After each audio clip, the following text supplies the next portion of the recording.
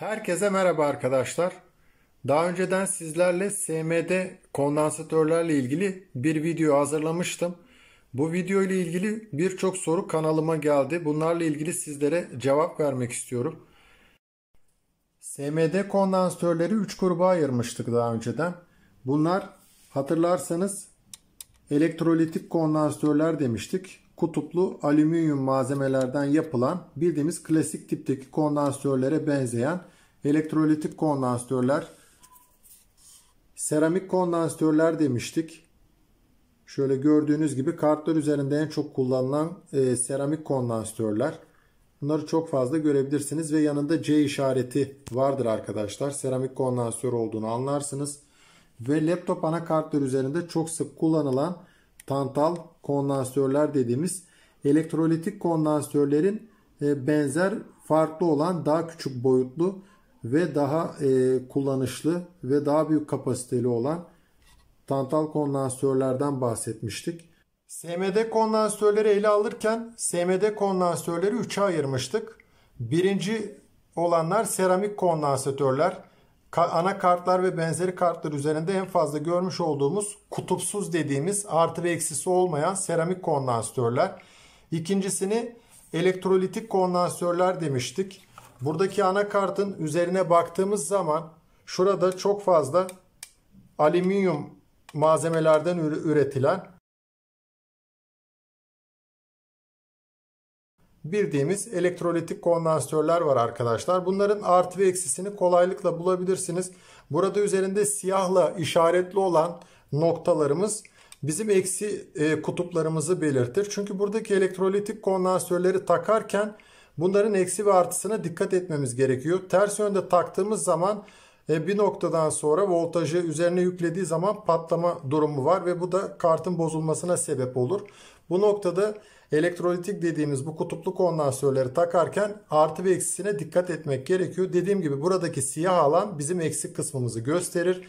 Elektrolitik kondansörleri geçen dersimizde de anlattım.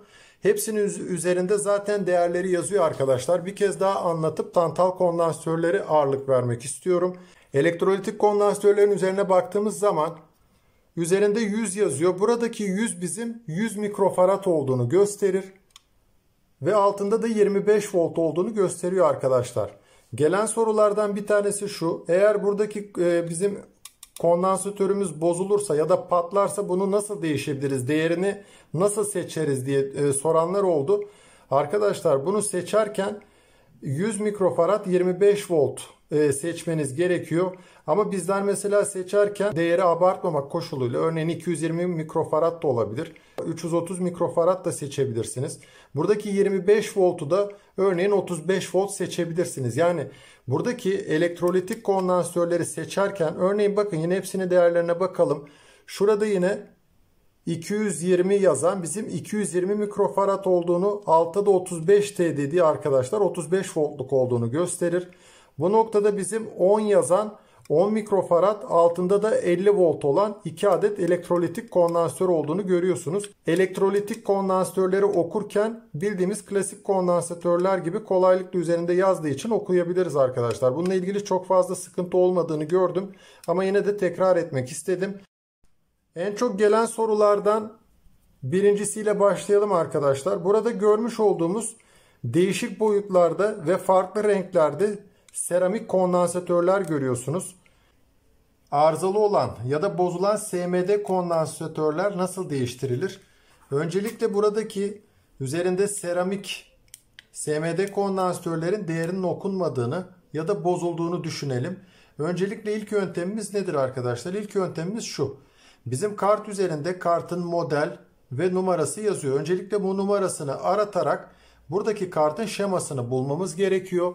Şemasını bulduktan sonra ilgili olan kondansatör örneğin burada C717 yazıyor. C717 arattığımız zaman buradaki değerinin ne olduğunu buluruz. Aynı değerde kondansatör bularak yerine takabiliriz. Bu tabii ki bilinen bir yöntem şema üzerinden. Şemayı bulamadık. Kondansatör değerinin de okuyamıyoruz. Bu durumlarda ne yapabiliriz? En çok gelen soru bu arkadaşlar. Uygulama yaparak cevap verelim. Örneğin benim elimde şöyle bir kart var. Şuradaki seramik SMD kondansörümün bozulduğunu kısa devre moduna düştüğünü düşünelim. Şu an için bozuk. Elimde şeması yok. Bunu nasıl bulabilirim diye sorular geldi. Bu da benim elimde herhangi bir kart olsun. Atıl bir kart. Yani bunu üzerinden malzeme sökmek için kullanacağım. Peki bunu şimdi ben ölçerek sizlere göstereceğim arkadaşlar. Benim kullandığım yöntem nedir? Şimdi ben buna en yakın bunun rengine bakıyorum. Büyüklüğüne ve boyutuna bakıyorum. Muadil seçtiğim kartın üzerine bakın şöyle yaklaştırdığım zaman bakın şuradaki kondansatörlerin seramik kondansatörlerin bunun büyüklüğüne yakın olduğunu görebiliyorum. Şuradaki de yakın. Böyle baktığım zaman şuradaki kondansatörleri buradaki kondansatöre benzetebiliyorum arkadaşlar. Bakın buradan bunu söküp buraya taksam muhtemelen çalışabilir. Örneğin ölçüm yaparak e, göstereyim. Şimdi e, şöyle anlatayım. Siz burayı ölçtünüz herhangi bir değer yok. Elinizde benim gibi SMD testerınız da yok. O yüzden dediğim gibi bunun büyüklüğüne, rengine ve boyutuna bakarak bunu kolaylıkla buradan rahatlıkla alın buraya takın arkadaşlar. Muhtemelen çalışacak. Ama ben yine de bunu sizlere göstereyim. Bakın şöyle. Şunu ölçelim bakın. SMD testerımla ölçeyim. Kaç çıktı arkadaşlar? 73 mikrofarad. Bunu ölçüyorum ama bunun bozuk olduğunu düşünelim. Yani size değerinin nasıl yakın olduğunu anlatmak için gösteriyorum. Buna yakın büyüklükte belirlemiş olduğum şuradaki kondansatörleri örneğin ölçelim. Bakın bunu ölçelim. Bakın 73'tü 78 mikrofarad çıktı. Dediğim gibi yani elinizde böyle SMD tester olmasa bile bu benim kullandığım bir yöntem arkadaşlar. Ben hiç ölçmeden bunun büyüklüğüne, rengine ve boyutuna bakarak elimde atılı olan kartlardan sökerek hemen yerine takıyorum. %90 buradaki kartlar çalışır arkadaşlar ama şöyle değil yani. Örneğin bakın şurada çok küçük kondansatörler var. Kalkıp ben buradaki SMD kondansatörün yerine kalkıp şöyle kocaman takamam. Dediğim gibi boyutu, rengi ve biçimi birbirine çok yakın ve büyük aynı büyüklükte olması gerekiyor. Bakın mesela bu değil de şuradan seçtiğimi düşünelim. Bakın buna 73'tü. Tekrar bir bakalım kaçtı. Evet 73 mikrofarad. Gelelim bunlara bakmıştık. Bir de şunlara bakalım. Bunların da büyüklükleri benziyor. Şuradan bir tanesini ölçelim mesela şöyle. Bakın yine 83. Dediğim gibi yani bakın bunun üzerindeki büyüklüğe bakarak kolaylıkla kartlar üzerinden ona yakın değerlerde seçtiğim zaman görüyorsunuz. Buradan da size ölçüm yaparak gösterdim. Değerler 3 aşağı 5 yukarı tutuyor. Bir de kondansatörlerde değerinin biraz daha büyük olması hiçbir şekilde e, bir zararı yok arkadaşlar. Kolaylıkla bunun e, biraz daha çok az daha büyüğünü seçerek bu noktaya koyabilirsiniz. Ölçüm yaptığımda yaklaşık değeri gördünüz. Gelen en çok sorulardan bir tanesinin cevabı bu şekilde cevaplamaya çalıştım. Tekrar ediyorum. Herhangi bozulan seramik SMD kondansatörünüzün değerini bilmiyorsunuz. Kısa devre modunda okuyamıyorsunuz. Kartın şeması yok. O zaman dediğim gibi ne yapıyorsunuz? Bunun şöyle mikroskop üzerinden de gösterelim.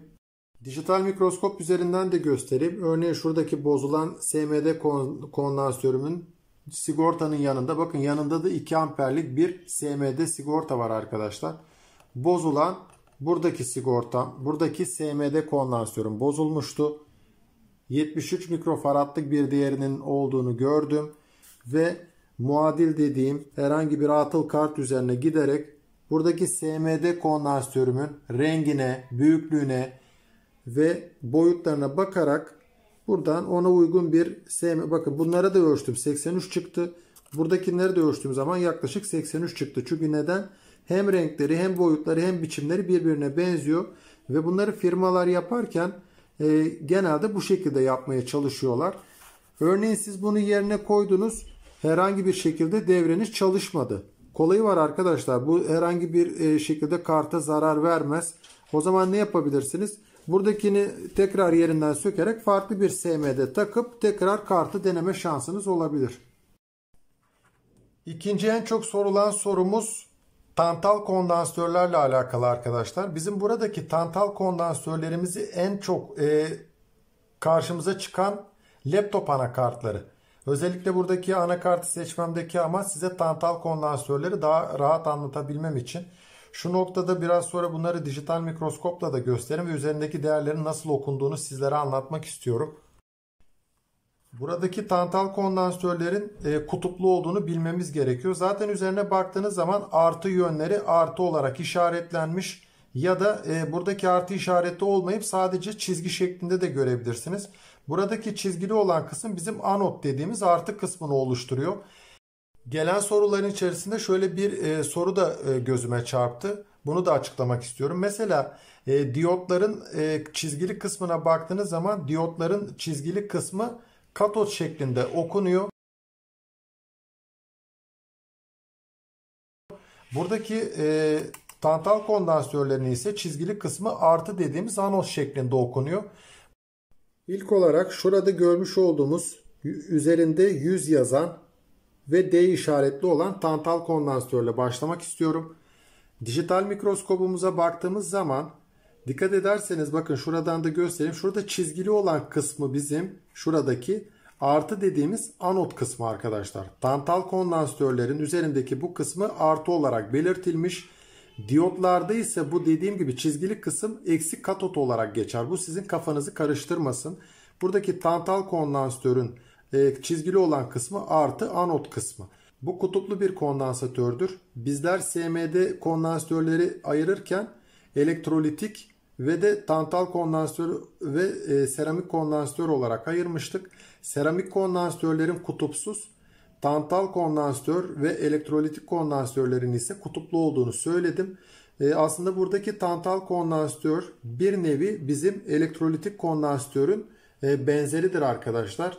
Niçin böyle söylüyorum? Çünkü buradaki de kutupludur. Bunun bir avantajı var. E, tantal kondansatörler genellikle e, daha pahalı ya da e, daha özellikli olan anakartlar üzerinde tercih ediliyor. Sebebi de şu. Bunlar elektrolitik kondansatörlere göre e, daha pahalı malzemelerdir. Bu nedenle daha pahalı cihaz olan e, laptop anakartlar üzerinde çok fazla elektrolitik kondansatör değil de bakın mesela bunun üzerine baktığınız zaman neredeyse elektrolitik kondansatör hiç yok arkadaşlar.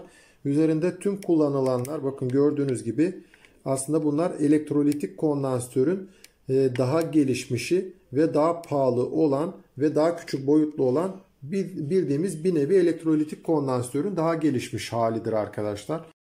Bizim buradaki anakartın üzerine baktığımızda bakın burada elektrolitik alüminyum kondansatörler görüyorsunuz. Bunlar alüminyumdan yapılmış kutuplu olan elektrolitik kondansatörler. Bunlar daha ucuz anakartlar üzerinde tercih ediliyor. Fiyatları da ucuz olduğu için. Fakat boyutları biraz daha büyük arkadaşlar. Ama bizim buradaki daha gelişmiş olan laptop anakartları gibi bazı benzer anakartlar üzerinde elektrolitik kondansatörlerin e, görmezsiniz de onun yerinde daha gelişmiş olan bakın burada tantal kondansatör dediğimiz bir nevi aslında elektrolitik kondansatörün bir çeşidi arkadaşlar bunlar. Bunlar daha küçük boyutlu ve boyutuna rağmen çok büyük e, mikrofarad dediğimiz kapasite değerine sahipler ve bunları çok sık görebilirsiniz. Bunlar kullanılıyor ve üzerinde de harf ve rakamlar görüyorsunuz. Bunları biraz sonra detaylı anlatacağım arkadaşlar. E, nasıl okunuyor, bu kodlamaların anlamı nedir diye tablo üzerinden anlatmaya çalışacağım. Evet buraya baktığımız zaman bizim ilk olarak şurada biz size yansıtmış olduğum tantal kondansatörün değerine bakıyoruz. Yukarıda 100 gördüğümüz bizim 100 mikrofarad olduğunu gösterir. Şurada D işaretimiz var. Bizim buradaki D ise bizim bunun 2, e, 2 e, voltluk bir diyot olduğunu gösterir. Yani biz bunu şöyle sıralıyoruz. A, B, C, D, E, F şeklinde arkadaşlar. Örneğin A 0,5 volt olduğu için B, C, D bu 2 volt olduğunu e, biliyorum. Yani data sheet'ine bakmadım aslında. Yani sürekli kullandığım için biliyorum. Burada E işareti olsaydı bunun 2.5 volt olduğunu, F işareti olsaydı bunun 3 voltluk bir tantal kondansatör olduğunu ve 100 mikrofarad olduğunu anlayabilirdim. Dijital mikroskopumuzun üzerine geldiğimiz zaman şuradaki tantal kondansatör 150 mikrofarad ve şurada G harfini görüyorsunuz.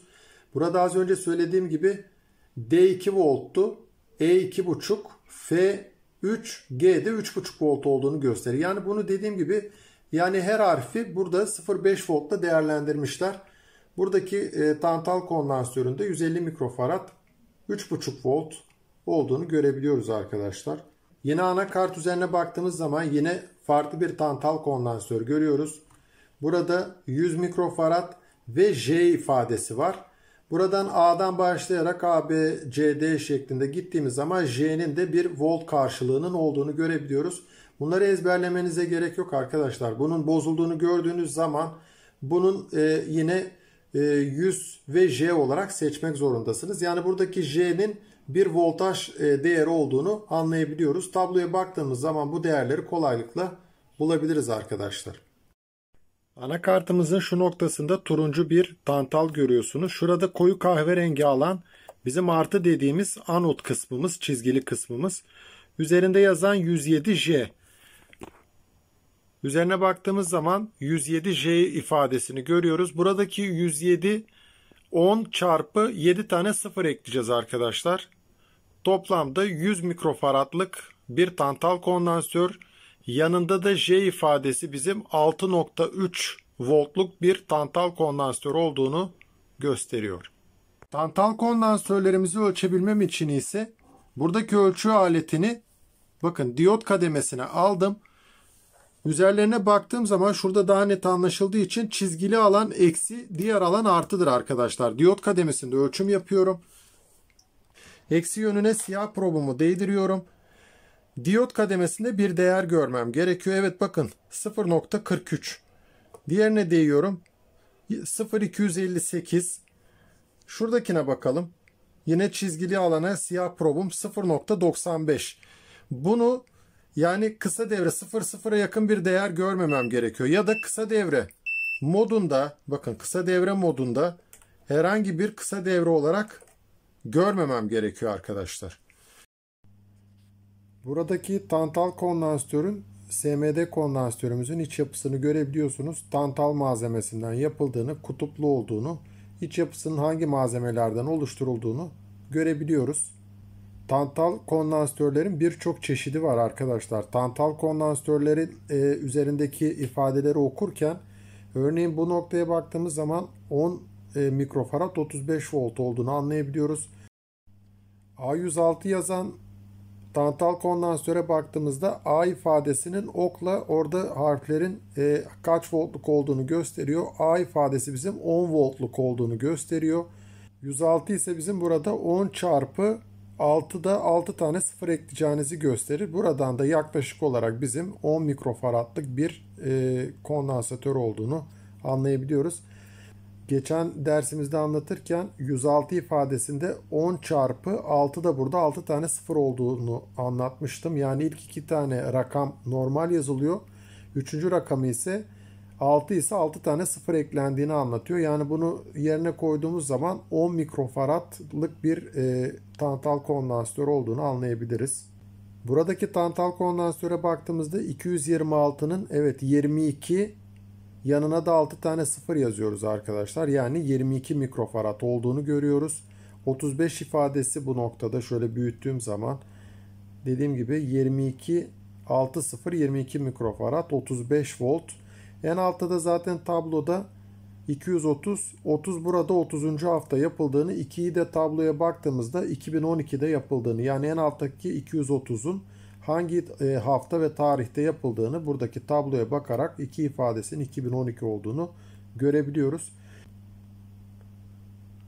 Yine farklı tantal kondansatör değerleri var. Yine bunlar hep tablolar içerisinde gösteriliyor arkadaşlar.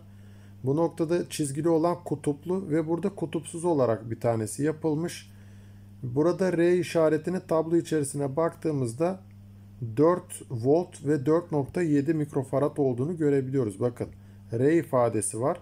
Şurada yine bizim R işaretimize baktığımızda 4 volt yukarıdan bakıyoruz sütundan ve yanda da 4.7 mikrofarad tablodan anlayabiliyoruz.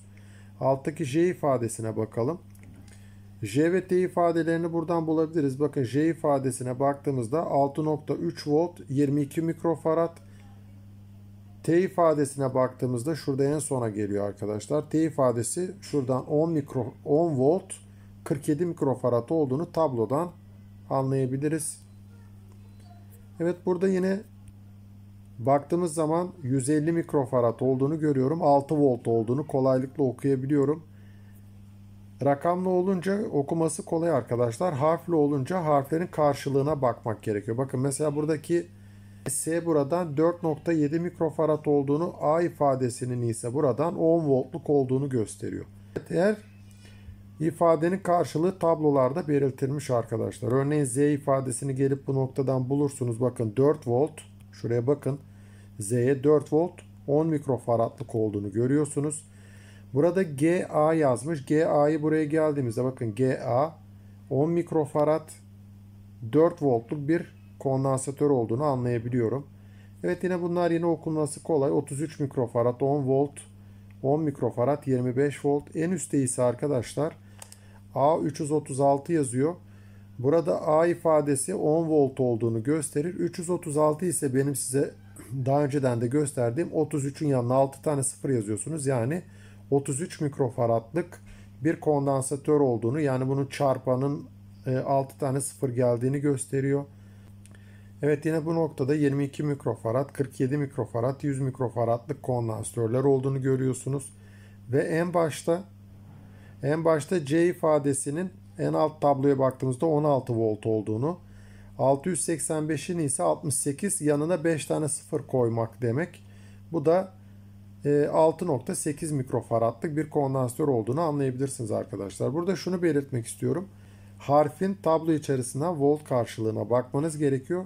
Rakamları ise ilk iki tanesini yazıp üçüncüsünü çarpan olarak eklemeniz gerekiyor.